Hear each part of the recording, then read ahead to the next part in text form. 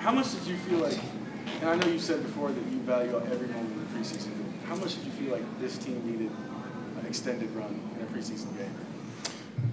Yeah, I just I, I feel like um, you know the the time you're on the field, particularly new play caller, new quarterback, new guy calling it. Um, just you know different pieces in the huddle. Uh, I think it's important to to get that time on the field, just from that you know an operation standpoint. And um, you know for me, I feel I feel good about you know where we're at and. Um, you know the the operation that we had in the two times we were able to to do it in Buffalo and here tonight. I think that's going to help me moving forward. Is that operation just something that you know when it's good, when you can kind of feel feel it when it's good? Yeah, I think for me personally, it's always nice.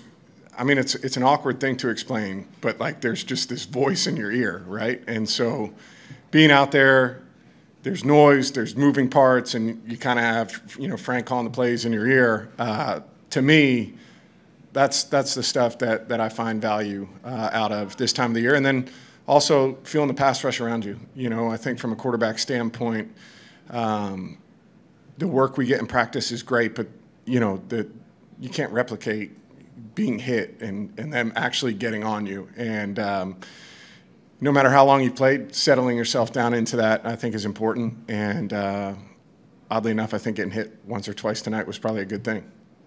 Man, it seemed like earlier in the week, Coach maybe hinted that you guys may play the entire first half. That didn't, you guys didn't work out there quite that long. And with one fewer preseason game, can you talk about how you feel about where the first unit's at what next two weeks things look like before opening week? I think we're in a good, you know, a good spot. I think we've continued to get better, um, you know, as as the preseason has gone on, which has been good.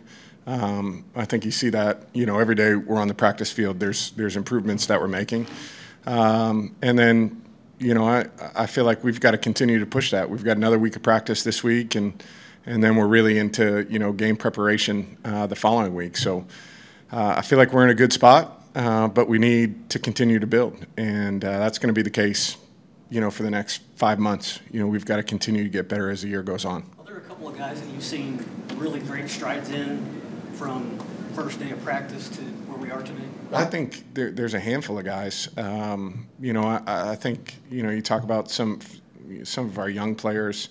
Um, Alec Pierce to me has has improved a lot you know, from from the time he came in. I mean, obviously super talented, um, but just you know, his his route discipline, you know, his his ability to you know be crafty with his releases, um, getting more comfortable with press man coverage.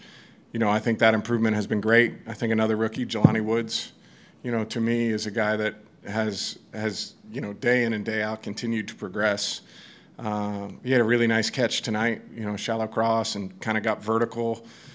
It's small little things like that that, you know, make a big difference in this league. You know, it's the hit and yardage that you get with run after catch. And uh, I thought that was great to see from Jelani tonight. And I think he's, you know, there's been instances like that throughout training camp that you see him just continuing to improve. What is it about uh, Michael Pittman that you two seem to have built a pretty good relationship on the field pretty quickly? Well, he's a great player. You know, that makes it makes it easier, right? When when guys are, uh, you know, very very talented. But he's an incredible worker. You know, and and I think, I mean, you guys probably know that. Haven't been around. It's still new to me. You know, seeing the the way that he he you know attacks every day, um, the amount of, of, time that he puts into it, uh, and you know, there's there's there's no shortcut to it in this league. You've got you've got to earn it, and uh, the way he works, you know, makes it easy for a quarterback like me to get on the same page with him. You talk about Alec's route discipline. How, how does that growth help you trust him out on the field? Yeah, I mean, at, at the quarterback position, you know, one of the things I've always said is, you know, you need great decision making, timing, and accuracy, and you know, the timing and accuracy is half my part and half theirs. And, uh, you know, they've got to be where they're supposed to be when they're supposed to be there. Um, and, and, I think he's really done a good job of, of taking that to heart and, and understanding that it's one thing to be open, it's another thing to be open in the timing of the play, right? So you can either win too early or win too late.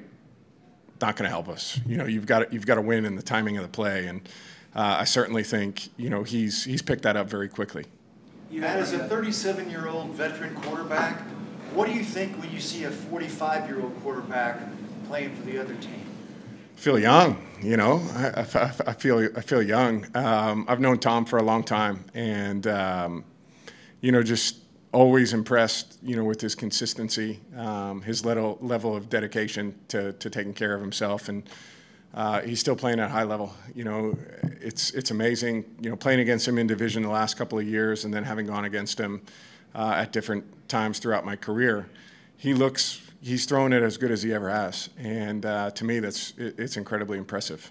You had the Joel, 11, last one. you had the 11 yard scramble. Are you going to tell Frank that there needs to be a little bit more QB design on it?